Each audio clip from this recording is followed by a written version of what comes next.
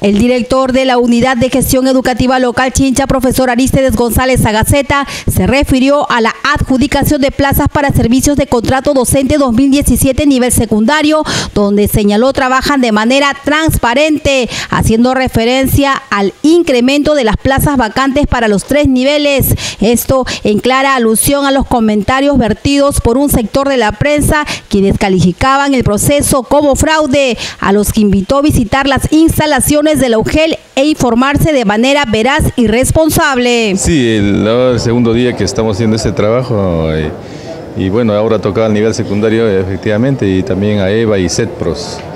Eh, la idea es este, cubrir toda la plaza vacante que tenemos y garantizar este, que el primer día útil con estudiantes, todas las aulas, todos los chicos estén atendidos por maestros. Esa es la idea, tanto en nivel inicial, primaria y secundaria. Adjudicación para el día de ayer, que fue para los niveles inicial y primaria, ¿algún, algún altercado, todo con normalidad? No, no, todo con normalidad. Hemos hecho la explicación antes del inicio, en el sentido de que las, el cuadro de plazas ha ido variando día a día, era porque nosotros estábamos ah, haciendo justamente las averiguaciones y la y determinar las plazas en sí que deben ser cubiertas el día de hoy.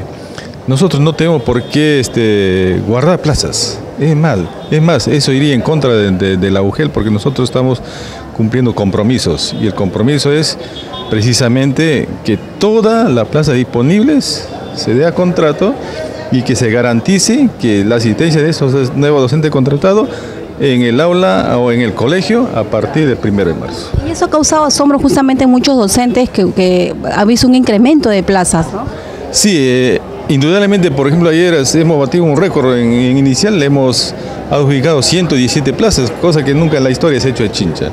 Igual manera en nivel primario, a pesar de las reasignaciones, todo el movimiento personal que había el año pasado, hemos este, adjudicado este, 66 plazas y este es un incremento. Imagínense el año pasado, yo recuerdo en la primera etapa se hizo 28 plazas, ahora hemos duplicado y precisamente es porque estamos haciendo un trabajo transparente y bueno y serio, ¿no?